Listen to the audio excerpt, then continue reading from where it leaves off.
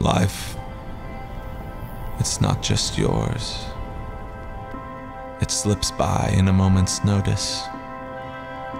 Some choose to hold on a little longer, some don't. Our days are full of joy, brokenness, passion, disaster, love, cradles and caskets.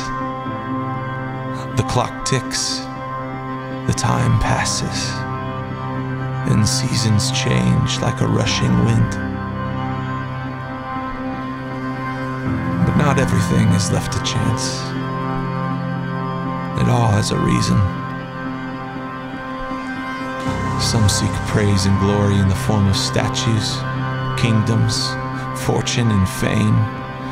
But we yearn for a greater glory, something that will echo into eternity, something that will last forever.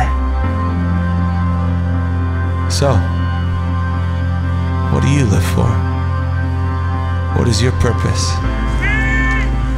Will you choose to live for something greater than yourself? To seek justice for those who can't defend themselves? To bring peace where there's unrest? To inspire the world around you?